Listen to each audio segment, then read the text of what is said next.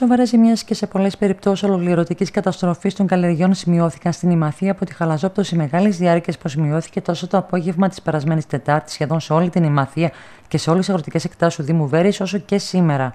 Όπως ανέφερε ο Αντιπεριφερειάρχης Ημαθία Κώστας Καραπαναγιοτήδη, οι εκτιμητές του ΕΛΓΑ θα ξεκινήσουν από αύριο σε πρώτη φάση και πρόσθεσε ότι θα έπρεπε να είχαν βγει τα αεροπλάνα του ΕΛΓΑ έτσι ώστε να μην φτάσουμε σε αυτό το σημείο. Σύμφωνα με ανακοίνωση του Δήμου Βέρε, οι αγρότες, των οποίων οι καλλιέργειες επλήγησαν, θα πρέπει να καταθέσουν δηλώσεις έως τις 4 Ιουλίου. Οι ζημιές είναι πολύ μεγάλες. Καταστροφή, θα έλεγα, σε μερικά σημεία του νομού είναι γενική καταστροφή. Ε, επικοινώνησα και με την τοπική διεύθυνση του, του ΕΛΓΑ αλλά και με την Αθήνα.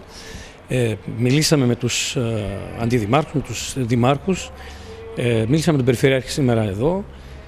Υπάρχει το πρόβλημα είναι πάρα πολύ μεγάλο. Τώρα το πώς αντιμετωπίζεται ή τι δεν έχει γίνει γιατί πρώτα αυτό πρέπει να δούμε τι δεν έχει γίνει για να μην ε, έχουμε αυτό το πρόβλημα. Φαίνεται ότι όλη την ευθύνη για όλα αυτά την είχε και την έχει ο ΕΛΓΑ, ο οποίος μέχρι στιγμής και μέχρι σήμερα δεν κινήθηκε όπως έπρεπε να κινηθεί.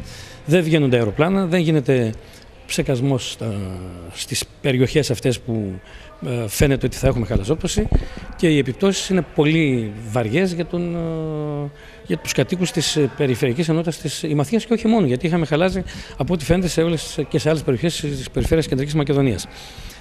Αυτό που θα γίνει αύριο το πρωί, ε, συνεργεία του ΕΛΓΑ θα πάνε να δούνε τα προβλήματα στον τόπο τους. Εμείς έχουμε πει, σαν Περιφερειακή Ενότητα, ότι βοήθεια χρειάζονται από εμάς θα την έχουν, ακόμη και αν χρειαστεί και με γεωπόνους να τους ενισχύσουμε. Το πρόβλημα είναι πάρα πολύ μεγάλο. Φέτο ήδη προπήρχε το πρόβλημα και με τις πολλές βροχές που είχαμε και με κάποιες άλλες ε, καιρικές συνθήκες, όχι καλές θα έλεγα μέχρι τώρα. Έρχεται και αυτό το τελευταίο. Είναι σε απόγνωση ο, κόσμος, ο αγροτικός κόσμος της ε, Ημαθίας και όχι μόνο.